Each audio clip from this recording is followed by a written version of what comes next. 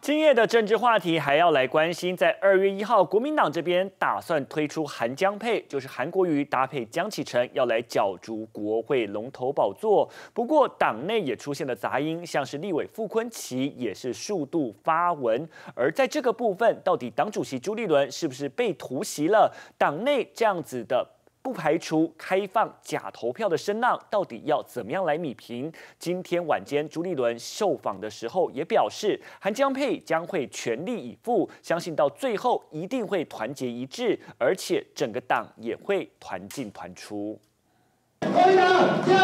牵起彼此的手，互相加油打气。国民党谢票感恩参会台中场检讨败选的同时，也放眼即将迎来的二月一号新国会开议正副院长选举。张举人最棒，有这么优秀的人，给他最好的机会，对不对？还有韩市长给我一个机会，跟他搭配竞选立法院的正副院长，所以面对二月一号，我想我会更努力。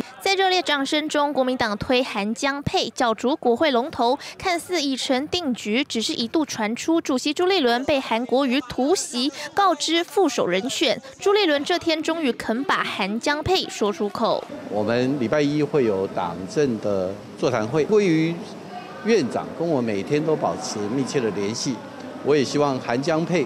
全力以赴，这算是断了也有意争取副院长的傅昆奇的念吗？傅昆奇不甘示弱，二十号晚间发文列出国会改革五项诉求，包括加强委员会的功能，避免朝野协商凌驾于委员会的审查之上等等，还直言绝对不是喊喊口号而已。傅昆奇拼国会副院长野心满满，只不过韩国瑜还大动作邀请党籍立委或当选人参叙，也让党团内出现不排除开放假投票的声音，又是在。制造谣言，存心的来破坏国民党的团结。如今党中央全力支持韩江配，一月二十一号将由台中红派大佬林敏玲、前立委蔡玲兰做东，邀请韩国瑜等人中午在台中零酒店宴请中部党籍立委，全党上下整齐步调。毕竟选后的国民党也没有分裂本钱。